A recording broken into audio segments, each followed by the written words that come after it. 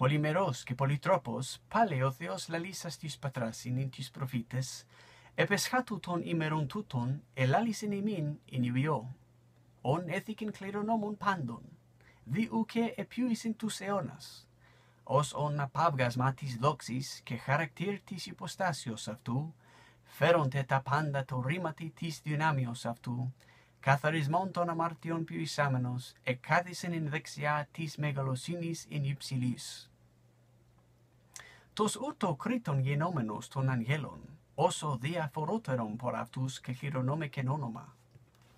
Την ηγαρήπεν ποτέ των αγγέλων, Ιωιος μου ίσου, εγώ σήμερον γηγενικάσε, και πάλιν, εγώ έσωμαι αυτό εις πατέρα, και αυτός έστε μη εις Ιωιόν. Όταν δε πάλιν εισαγάγει τον πρωτότοκον εις την οικομένη λέγει, και προσκυνησάτουσαν αυτό πάντες άγγελοι Θεού. Και προς μεν τους αγγέλους λέγει, όποιον τους αγγέλους αυτού πνεύματα, και τους λειτουργούς αυτού πυρός φλόγα. Προς δε τον Ιωιόν, ο θρόνος σου ο Θεός εις τον αιώνα του αιώνος, και η ράβδος της ευθύτητος ράβδος της βαζελίας σου. Ηγάπησας δικαιοσύνην και αμίσησας ανομίαν.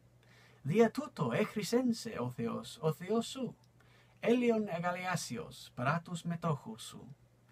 Και, σύ καταρχάς, Κύριε, την γην θεμελίωσας, και έργα των χειρών σου εις in ουρανίου.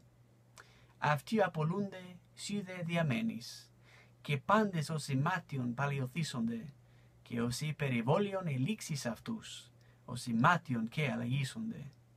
Σύ δε ο αυτόσι, και τα έτη σου ουκ εκλείψουσιν.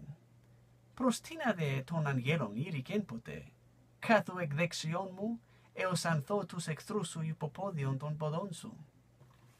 Ούχι πάντες εισήν λειτουργικά πνεύματα, εις διακονίαν αποστολόμενα, δια τους μέλλοντας κληρονομήν σωτηρίαν.